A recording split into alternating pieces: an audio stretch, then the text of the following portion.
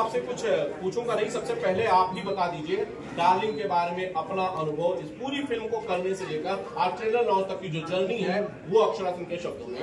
मैं सबसे पहले तो यहाँ तमाम मीडिया कर्मियों का तहे दिल से अभिनंदन करती हूँ, प्रणाम करती हूँ। काफ़ी टाइम बाद आप लोगों को देखने का मौका मिल रहा है, बहुत अच्छा लग रहा है। साथ ही आज one of the biggest producer with me right now Ratnakar sir का बहुत बहुत शुक्रिया। रजनीश सर जो कि one of the finest music director and मतलब बहुत यू नो अमेजिंग डायरेक्टर जिनके साथ मुझे पहली बार फ़िल्म करने का मौका मिला। मैं बहुत दिनों से चाह रही थी कि मुझे एक फ़िल्म करने को मिले बिकॉज़ इनकी मेकिंग बहुत अलग होती है। चाहे वो रोमांस को लेकर हो, चाहे यू नो कंप्लीट सिनेमा बनाते हैं।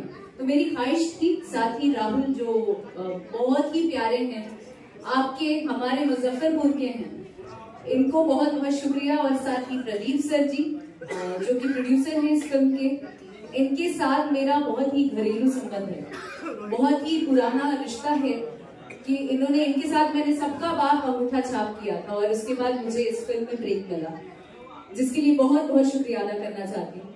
सो इस फ़िल्म के बारे अगर बात करें तो बहुत सी फ़िल्में बनती हैं हमारी भोजपुरी इंडस्ट्री में, जिसमें हम यूथ को ज़्यादा टारगेट नहीं कर पाते हैं। मोस्टली फ़िल्में ऐसी होती हैं। और मैं अगर मान ले, मैं अपने जीवन में यही मानती आई हूँ कि मुझे खड़ी करने वाले, मुझे आज मैं जो भी कुछ बन पाई हूँ, उसमें यूथ का सबसे बड़ा योगदान है। तो आज जो भी कुछ अक्षरा बन पाई है, उनकी वजह से बन पाई है।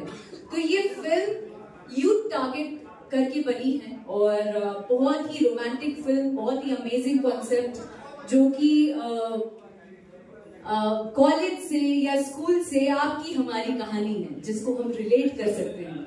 बहुत ही अमेजिंग फ़िल्म साथ ही एक लड़की, एक एक ये भी मैसेज है, जो लड़की अपना सपना या अपना मुकाम पाना चाहती है फ़िल्म इंडस्ट्री में या गायकी के क्षेत्र में, कहीं पे भी।